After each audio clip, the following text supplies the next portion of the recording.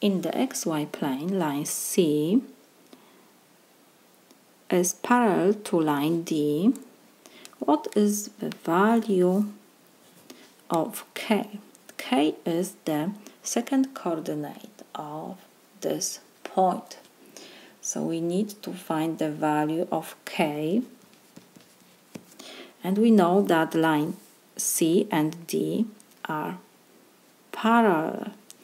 So we can write that C is parallel to D.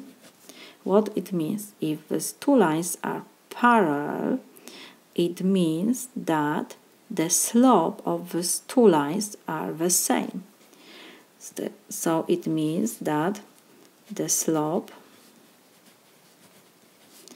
is the same. So if we have given two points on each lines, we can find the slope of line C and slope of line D.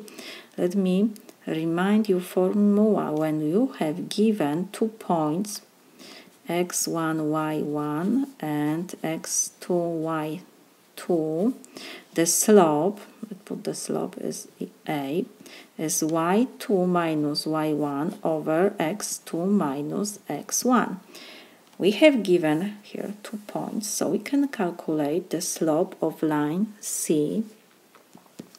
What will be let's copy this point. We have negative 4 0 and second point is 0 1 so the slope of line C let's put that slope of line C is equal. This is our first point so it will be x1 y1 and x2 y2 so this is our formula which we will use. In numerator we have to subtract y coordinates. So we have 1 minus 0 over 0 minus negative 4 in denominator we subtract x coordinates. So this is equal 1 over negative and negative give me positive. So slope of line C is 1 over 4 now we will go to line D. Line D has points 0, k and 5, 0.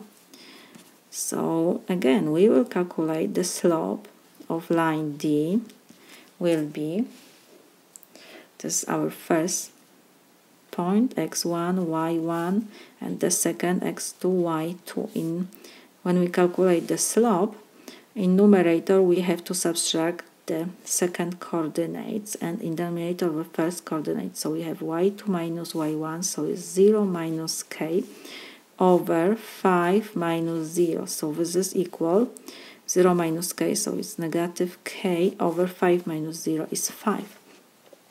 And like I said, because these two lines are parallel, it means that the slope of line C is equal to slope of line D and we found that slope of line C is 1 over 4 and slope of line D is negative 4 over 5.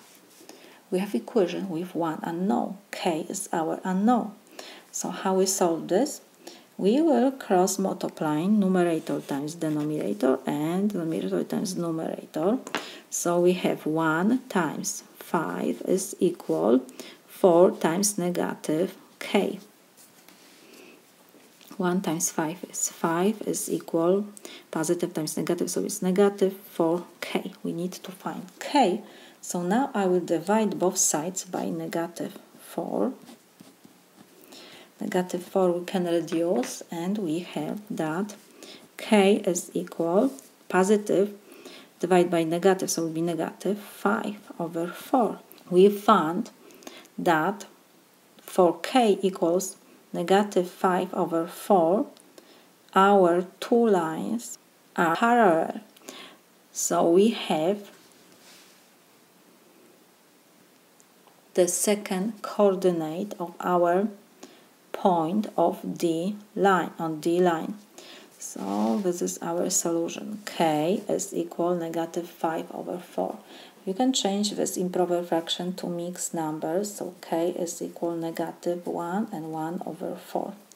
it depends which solution you have to have mixed number of improper both are the, the same this is my solution